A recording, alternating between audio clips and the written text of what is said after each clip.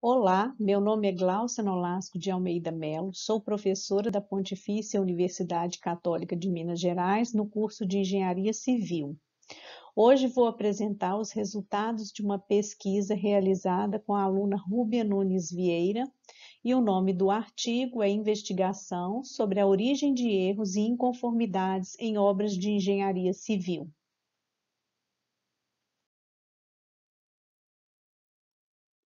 Ao longo do tempo, a construção civil vem passando por um processo de alteração e evolução, exigindo que todos os atores envolvidos se readequem operacional e estrategicamente, procurando minimizar a frequência de falhas construtivas, diminuir as perdas e reduzir o tempo ocioso. Contudo, ainda hoje percebemos a ocorrência significativa de erros em projetos estruturais, a baixa capacitação de mão de obra atuante na fase de execução, a ocorrência de falhas na, na gestão de obras, o desleixo com manutenção das estruturas, dentre outros problemas relacionados ao processo de construção civil.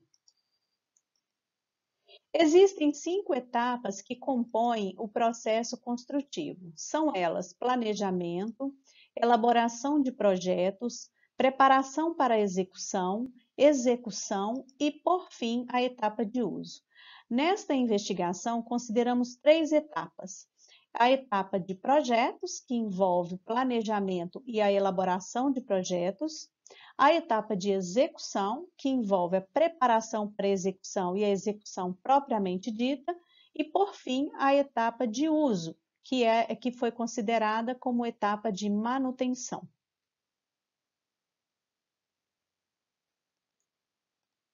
Para o professor Paulo Helene, a etapa de concepção de projetos é a etapa em que ocorrem erros em maior incidência, como ilustra o gráfico 1.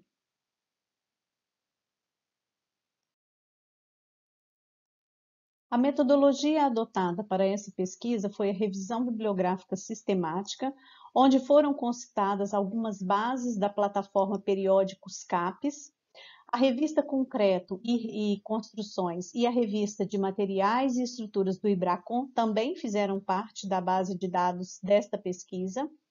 As expressões é, elaboradas para a busca foram nos idiomas inglês e português, e o intervalo considerado foram os artigos publicados de 2015 a 2020.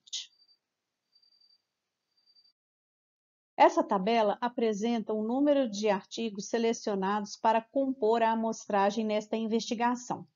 Na terceira coluna, nós temos o número de artigos selecionados por título, foram 654. Na quarta coluna, nós temos o número de artigos selecionados por resumo. Após a leitura do resumo, foram selecionados 158 artigos. E, finalmente, é, na última coluna, nós temos os artigos que foram selecionados após a leitura.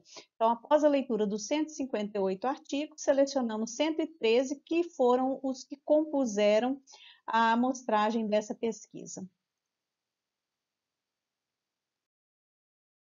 O gráfico 2 mostra que a etapa na qual originam-se predominantemente os erros é a de execução, com 75% das ocorrências, que correspondem a 38% dos eventos. Em seguida, ocupando o segundo lugar, a fase de projeto, com 32% dos casos, e na última colocação, a etapa de manutenção, que atingiu 30% dos eventos. É possível observar na tabela 2 que há um total de 198 apontamentos, ou seja, um número superior ao número de artigos é, estudados, avaliados nessa pesquisa, que foram 113. Essa divergência é justificada porque a maioria das obras apresentaram ocorrências de falhas em mais de uma etapa. No gráfico 3 e na tabela 3, podemos ver que, nas obras de engenharia civil contempladas na amostragem desta pesquisa, a ocorrência de falhas em ambas as fases, projeto e execução, foi detectada com o maior número, com 23 apontamentos, ou seja, 20,4% dos casos.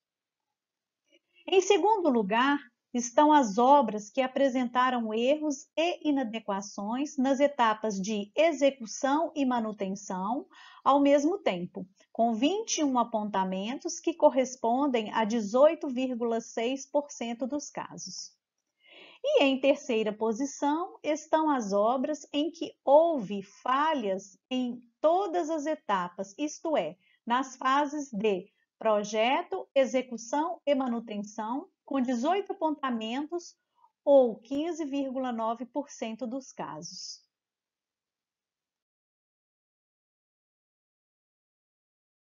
Na maioria dos casos, os erros e não conformidades construtivas estão presentes em mais de uma etapa, correspondendo a 59,3% dos eventos dessa análise, como mostra a tabela 4.